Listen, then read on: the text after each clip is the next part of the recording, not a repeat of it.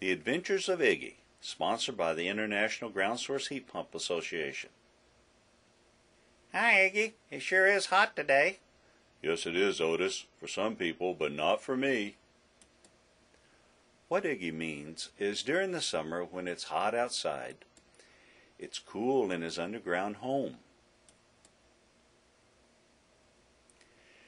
And in the winter when it gets very cold, Iggy's home stays warm and cozy.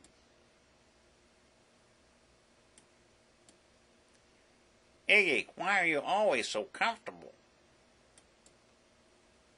It's simple, Otis. No matter how hot or cold it is above the ground, the temperature underground stays comfortable year round. But you don't have to live underground to be comfortable. In the winter, a machine called a GS system can take heat from the ground and put it into your home.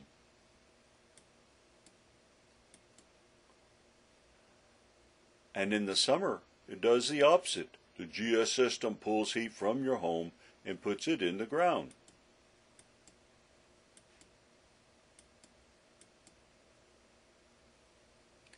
The GS system saves money and energy. It also is quiet and small enough to fit in your house, Otis.